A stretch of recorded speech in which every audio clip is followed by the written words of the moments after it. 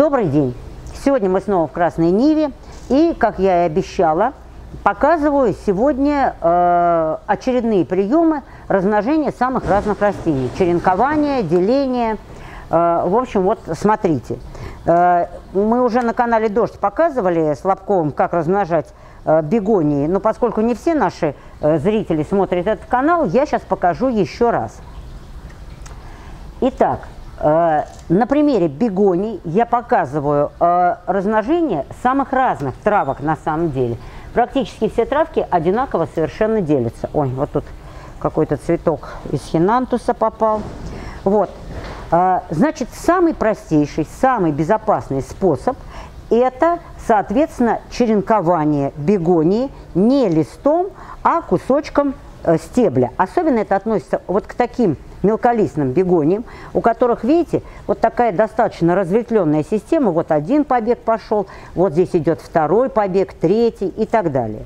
Значит, можно просто вытащить из горшка, сейчас я вам покажу, можно просто отрезать. Вот давайте начнем с этого. Вот я беру этот побег. Конечно, лучше брать побег, который торчит из горшка. И, соответственно, его сейчас отрежу. Отрезаю. Вот я сделала надрез и вот таким образом аккуратно снимаю, соответственно, этот черенок, вытаскиваю. Вот, вот что у меня получилось.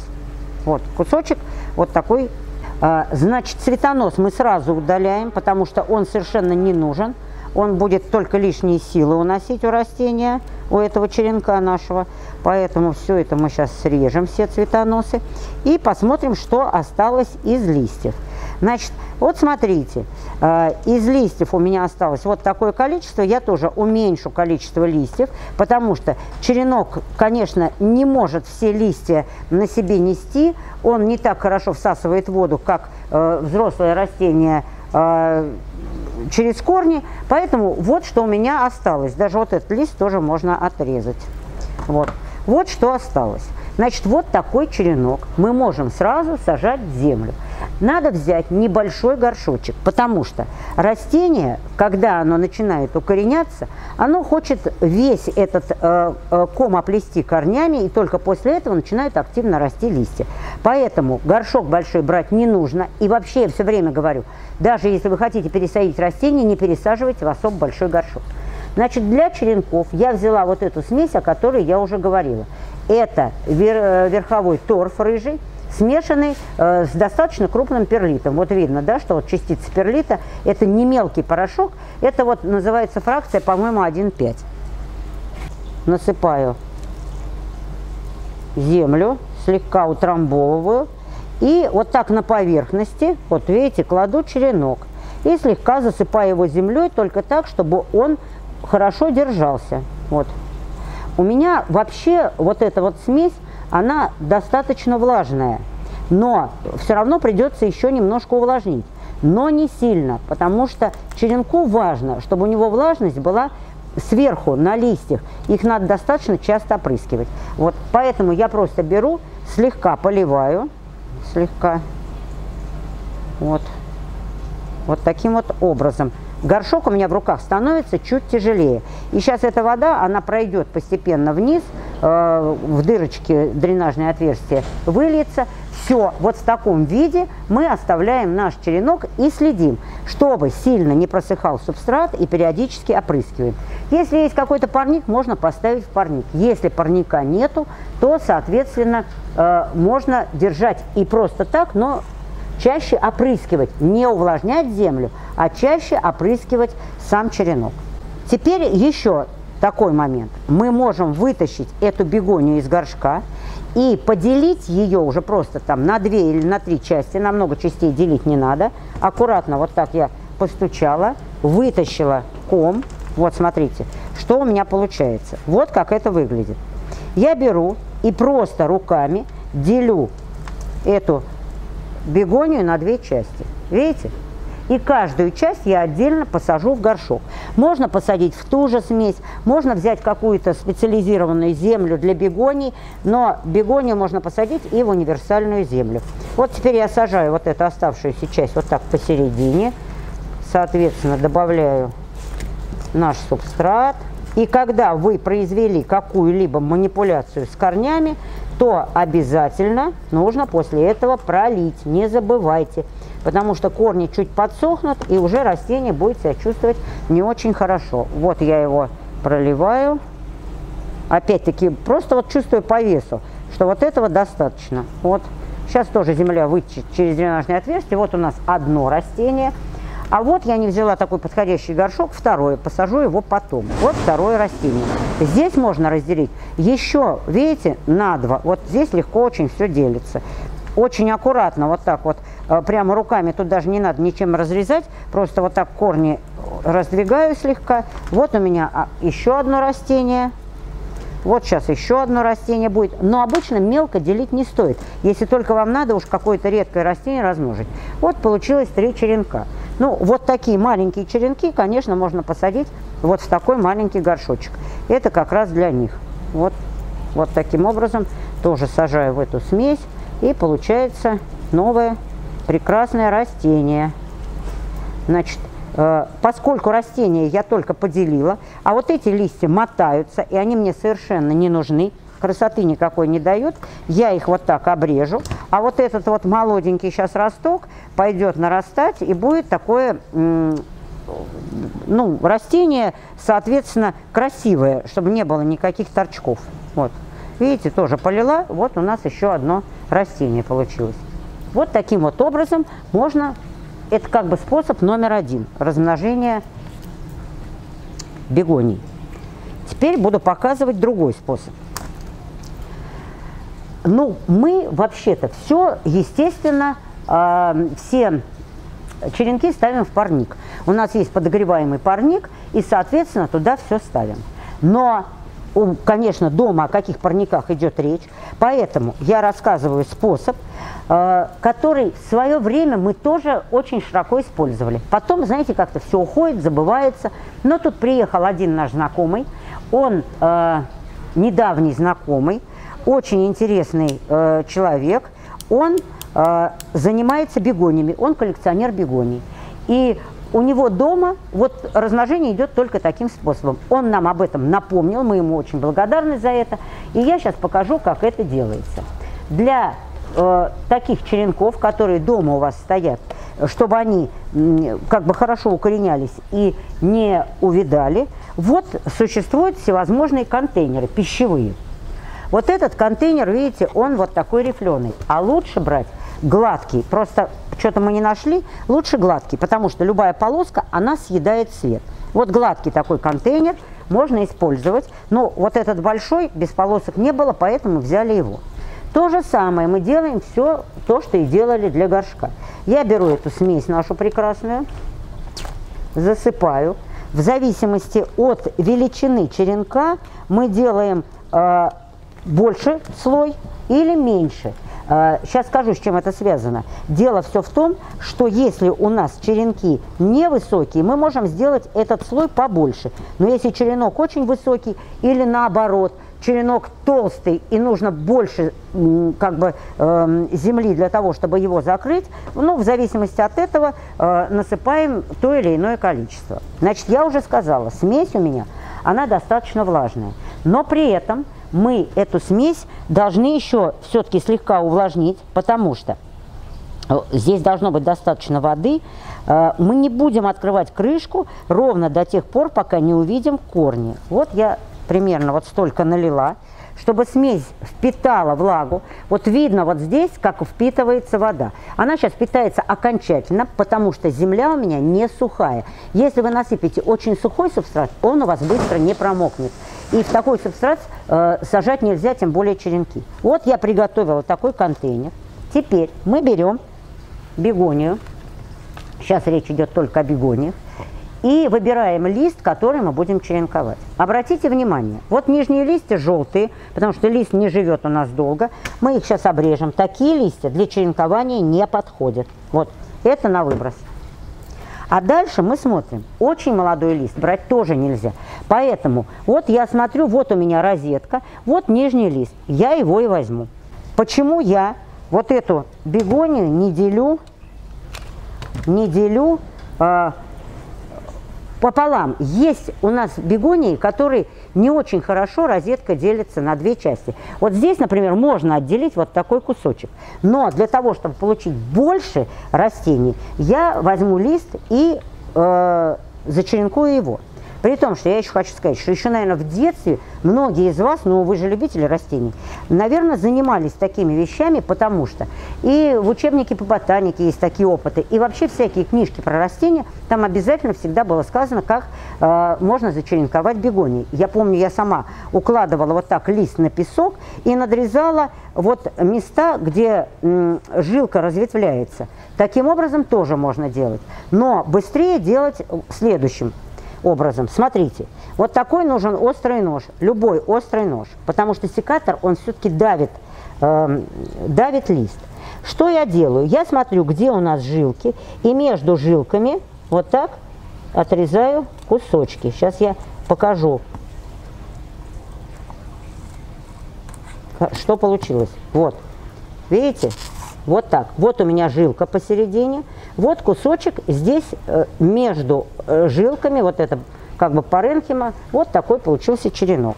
Беру, очень аккуратно пальцем делаю там бороздку. Видно? Потому что если вы вот так впихнете, вы его просто поломаете.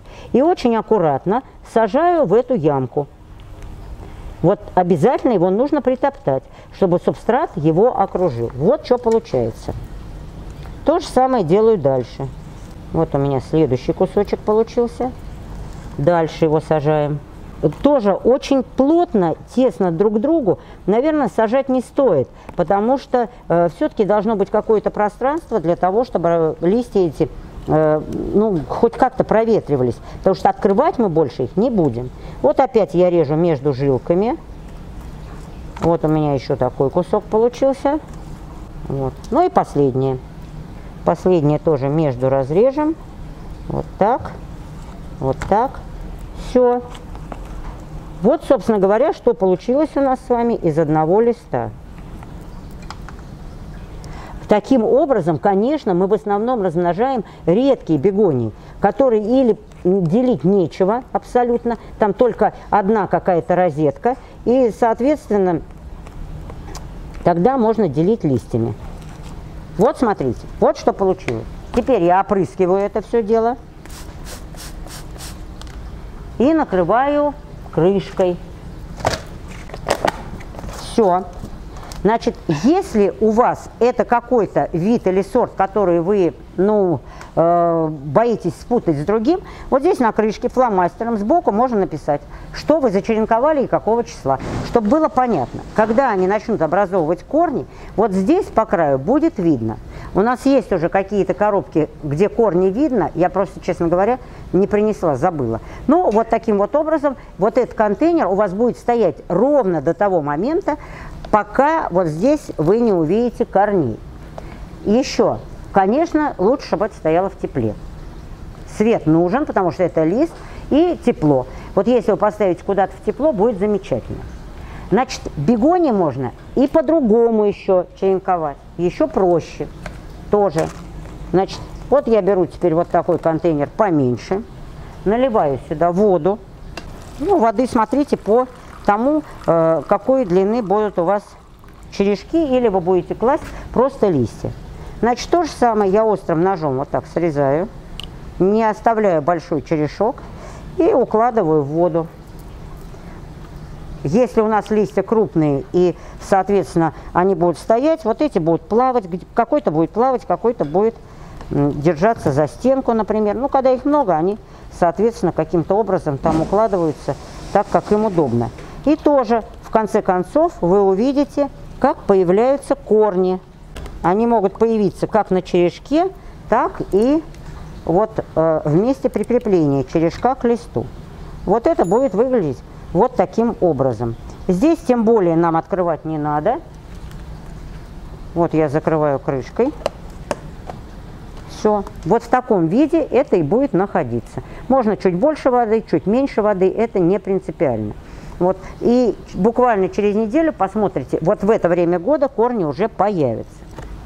Теперь посмотрим, Можно ли, что еще можно таким способом размножать? Можно размножать все, что угодно. Беру опять этот контейнер и наполняю его смесью. Просто у такого черенкования в маленьком контейнере есть некоторая специфика. Сейчас я о ней расскажу. Здесь не должно быть, понятно, особо больших э, черенков. Иногда мы делаем черенки достаточно большие у тех растений, которые хорошо укореняются. Здесь этого быть не должно, потому что Э, они просто не уместятся. И первые же почки, которые начнут расти, они упрутся в крышку, поэтому это будет не очень красиво. Вот я взяла э, фикус, который вообще плохо черенкуется. Я, кстати, его уже показывала, когда мы делали прикорневые отводки. Вот смотрите, значит, обычно черенок это вот три, допустим, узла. Но поскольку здесь нам не нужно такие черенки длинные, то я сделаю два узла. Вот. Значит, как мы обрезаем? Вот узел. Под узлом я оставляю там сантиметр-полтора. Вот этого достаточно. И то же самое я делаю со следующим черенком. Вот смотрите. Тут лучше не перепутать верх и низ. Вот у них уже растут какие-то боковые побеги. Верх нам тоже особо не нужен. Вот таким образом мы наш черенок ставим в этот субстрат. Вот что я делаю дальше. Видите, как нарезаю вот эти черенки. Вот верх-низ. Вот таким вот образом. Если макушка очень мягкая, она может не зачеренковаться. Но здесь макушка жесткая, и можно тоже лучше не тыкать черенок в землю, лучше пальцем проткнуть дырку или там специально какой-нибудь палочкой, и вот таким вот образом эти черенки туда поместить. Лучше, конечно же, в один контейнер э, ставить черенки одного вида – ну, в принципе, если у вас черенков мало, можно и двух каких-то видов э, поставить черенки. Вот таким образом, вот я поставила фикус, потом я это все доделаю. Сделаю, конечно, полную коробочку, чтобы не пропускало место. Обязательно опрыснем сейчас, потому что черенки любят, когда влажно. Все. И закрываем, и закрываем. И дальше уже наблюдаем. Проветривать не нужно, будем наблюдать, что там происходит. Тем более, вы если будете видеть на стенках, как сейчас, вот такие маленькие капли воды, то это значит, что влаги там вполне достаточно. Так, и, наконец, еще покажу. А, ну я коробку не взяла. Черт, ну ладно. Сейчас я вот в такой коробке покажу. Э, в такой поменьше. Э, покажу. Или давайте вот в этих фикусах. Потому что черенки большие. Просто здесь доделаем смысл тот же самый. А просто покажу еще черенки другого э, растения. Значит, вот я нарезала. Не пойму, то ли это сингониум ушковидный. Нет, это, наверное, какой-то все-таки филодендрон. Вот, вот у нас кусок вот такого э, любого ароидного, это может быть филодендрон, стендапсус, э, что угодно, сингониум. Значит, как мы поступаем с этими черенками? Вот у них часто бывают вот такие придаточные корни. Если мы этот корень сейчас засунем в землю, он, как правило, не нарастает. Поэтому я вот эти все придаточные корни тоже срезаю, они мне не нужны. Срезаю опять-таки вот так под углом, э, под узлом э, это самое, черенок. И у э, таких вот больших филодендронов мы всегда оставляем только один узел. Вот как будет выглядеть черенок. Смотрите, вот. Почему мне не нужен второй узел? Потому что тогда укоренение произойдет здесь, а почка пойдет с верхнего узла обязательно. Но на верхнем узле она будет всегда слабее, чем та, которая на нижнем узле, потому что нижняя почка, этот побег тоже сразу же укоренится, и он будет гораздо сильнее. Поэтому вот такой черенок я тоже вот так же втыкаю сюда в субстрат. Обязательно узел должен быть полностью накрыт, полностью накрыт, чтобы он не торчал. Ну и дальше вот так же идем, все эти корни обрезаем, они нам не нужны. Опять у меня получается вот такой черенок. Вот я его вставляю в землю. Вот. Притаптываю там обязательно, чтобы земля к нему прилегала. Не было никаких воздушных полостей. Потому что тогда э, укоренение, конечно, пойдет гораздо хуже. Теперь смотрите, вот у меня тут дело подходит к макушке. Он висел на батарее, вот так загнулся. Э, если тоже черенок очень мягкий, хотя, конечно, ароидные могут зачеренковаться в любом виде. Ну, просто посмотрите. Можно вот эту макушку уже, вот это, вот это мы еще срезаем и будем черенковать в банке. А вот это можно просто взять уже вот в таком вот виде. Соответственно, добавить еще несколько макушек. Видите, они у меня все висели на батарее и все в таком каком-то висячем положении. Вот.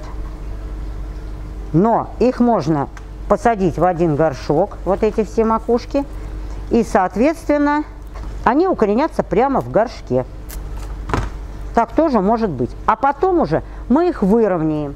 Ну, сейчас у меня нет тут горшка такого, или сейчас принесу и покажу тогда.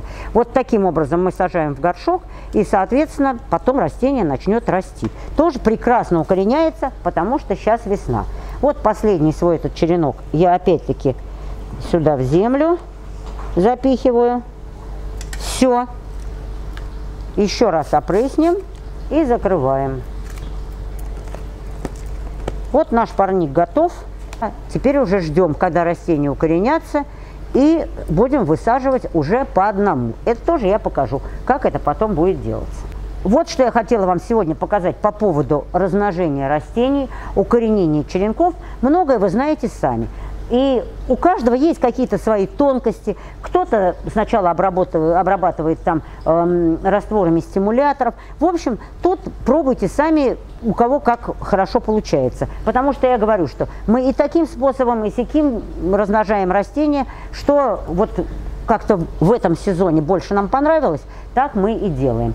Поэтому вот сегодня на этот Э, как бы сезон у нас вот эти банки, все в банках у нас тут. Будем надеяться, что все укоренится и будет много новых интересных растений. Чего желаю и вам.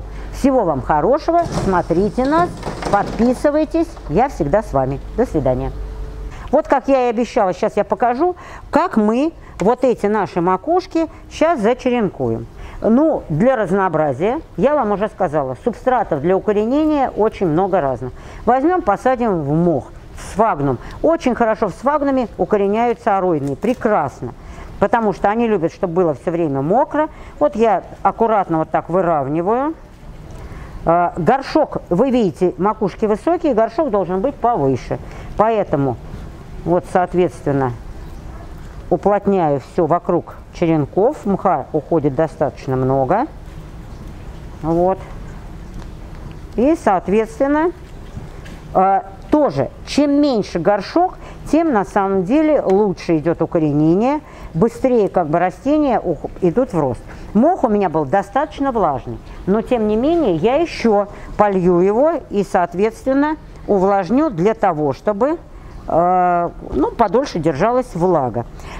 Вот ароидные растения, вот черенки таких вот филодендронов, сингониумов, можно просто поставить воду. И тоже они у вас достаточно быстро э, дадут корни и пойдут в рост. Ну, а эта макушка потом либо выправится, либо мы на палку закрутим. Посмотрим уже э, дальше по ходу пьесы после укоренения. Вот что получилось.